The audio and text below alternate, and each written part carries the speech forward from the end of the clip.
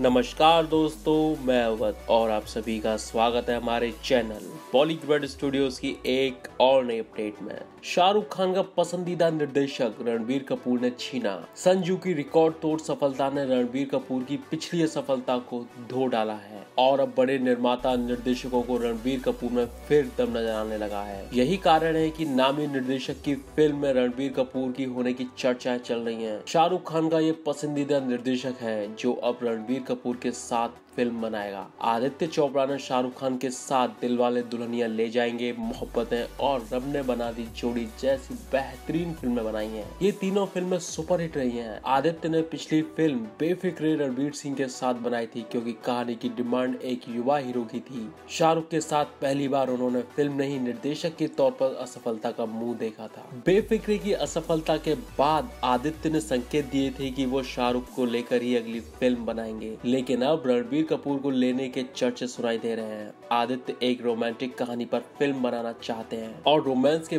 बादशाह के बजाय वे रणबीर कपूर को ले रहे हैं। बॉलीवुड के एक खबरची के मुताबिक आदित्य को लग रहा है कि शाहरुख खान की तुलना रणबीर जुआ से है और संजू की सफलता के बाद उनका मार्केट गर्म है, इसलिए उन्होंने रणबीर को चुना है। दूसरी ओर शाहरुख के साथ आदित्य ने आखिरी बार फ़ैन प्रोड्यूस की थी, जो फ़िल्म की बुरी तरह से पिटने वाली फ़िल्मों में शामिल हो गई। आने वाले दिनों में स्थिति स्पष्ट होगी कि क्या होने वाला है। तो दोस्तों, आज के इस वीडियो में बस इतना ही। हमारा ये वीडियो आपको कैसा लगा, आप हमें कमेंट करके ज़रूर बताएँ। लाइक और शेयर करना बिल्कुल ना भूलें। And don't forget to press the bell icon for more updates and notification